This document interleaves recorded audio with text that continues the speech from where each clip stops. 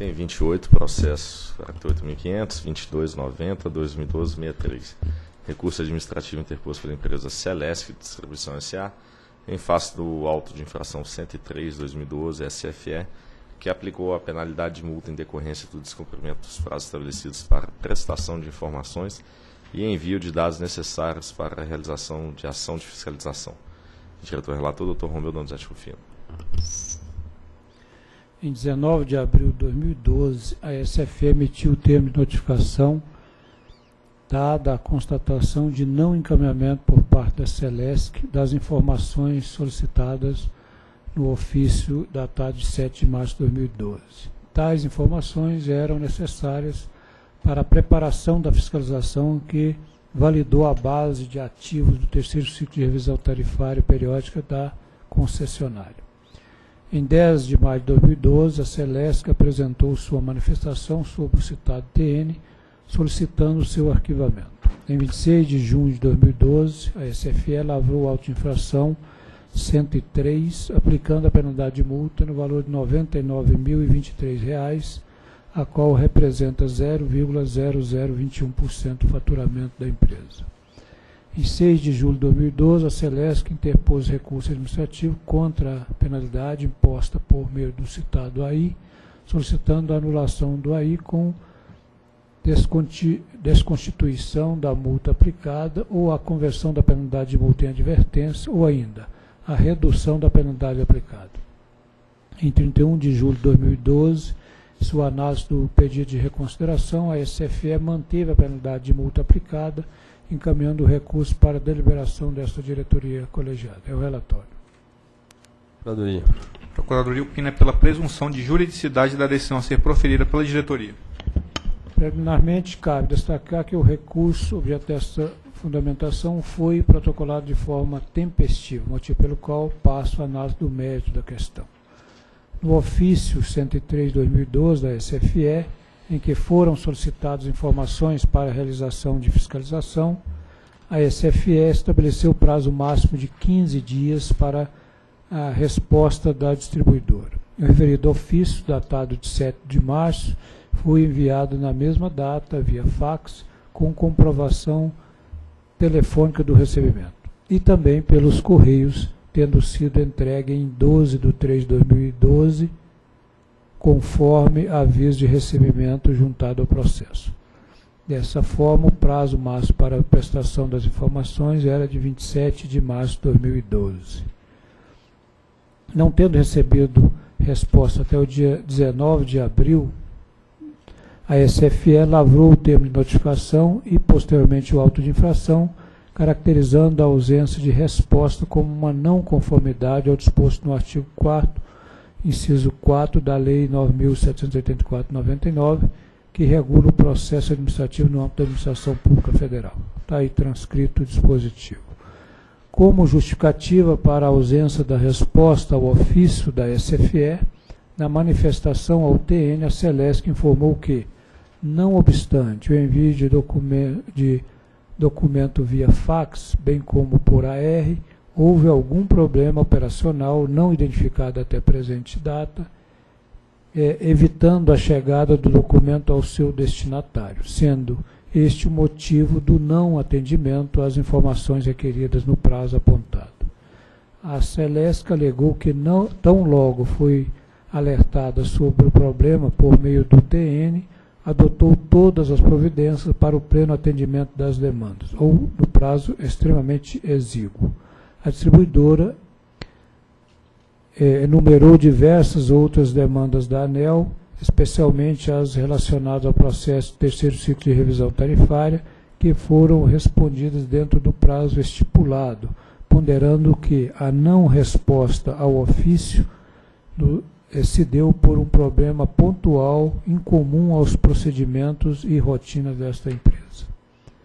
De fato, conforme consta nos autos do processo, a distribuidora cumpriu o prazo determinado no TN de três dias para a prestação das informações entregues, eh, entregando a carta sem número 24 de 2012, com a resposta ao mencionado ofício.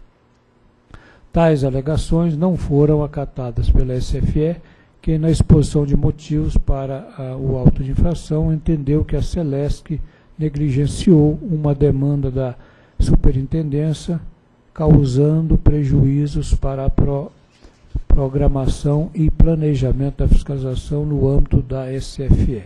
Além disso, a SFE destacou que o ofício foi enviado nominalmente ao diretor-presidente da empresa e concluiu pela aplicação de multa do Grupo 1 no valor de R$ 99.023. Em sede de recurso, a Celeste contestou de forma geral os parâmetros utilizados no cálculo da penalidade e os procedimentos realizados para a lavratura do auto-infração. No mérito, a distribuidora pleiteou desconstituição da penalidade ou transformação da mesma em advertência, com base no artigo 8 da Resolução 63 de 2004, ou ainda, redução da multa aplicada.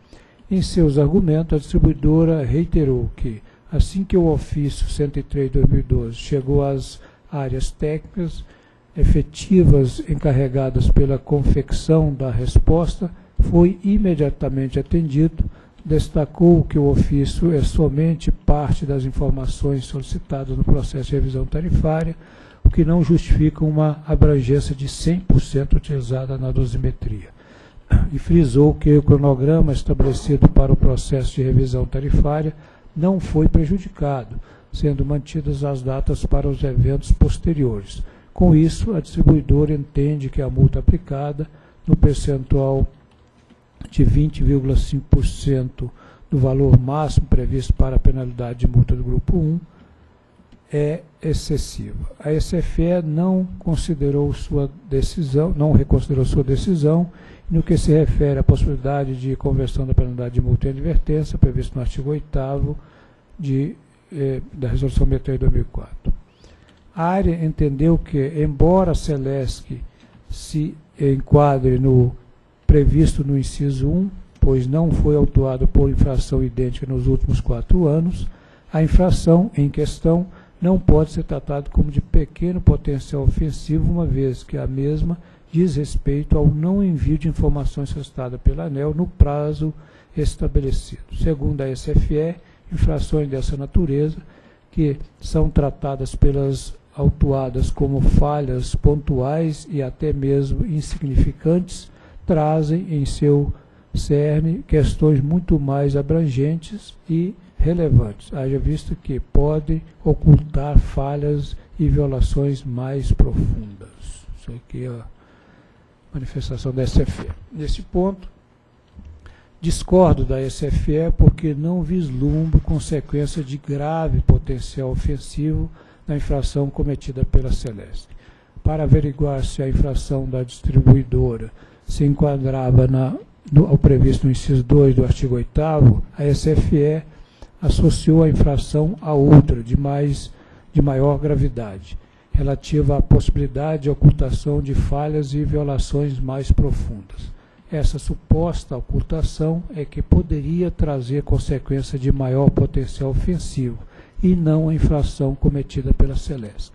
Entretanto, no meu entender, não constam dos autos do presente processo, nem nos autos do processo em que foram reunidos os documentos relativos à fiscalização, indícios que permitam concluir que a ocultação de informações de fato ocorreu, sendo impertinente aceitar a associação aventada pela SFE.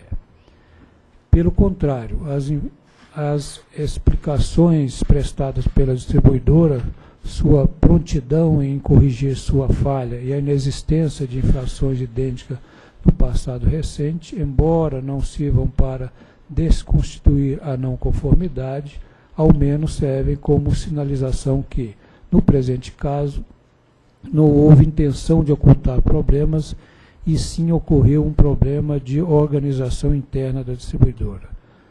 Desfeita a associação, resta verificar as consequências do atraso na prestação de informações de forma isolada.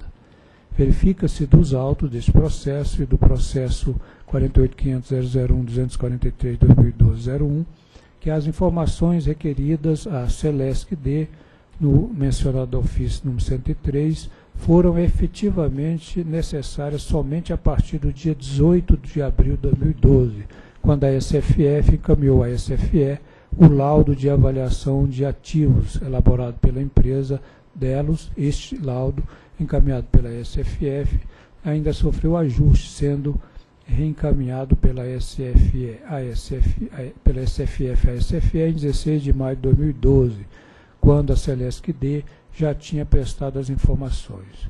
No fim, a atividade de fiscalização em campo foi efetivamente empreendida somente no período de 18 a 22 de junho de 2012.